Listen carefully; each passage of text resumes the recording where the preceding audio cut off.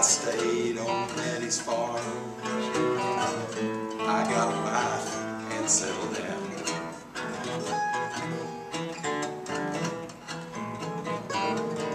One day I was coming home from work, and here's what I did see.